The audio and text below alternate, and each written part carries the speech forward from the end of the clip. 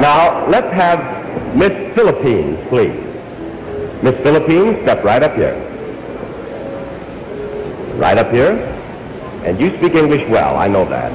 Miss Philippines, in the next day or so, a man will land on the moon.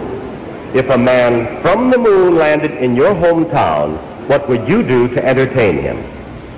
Oh, uh, just the same things I do.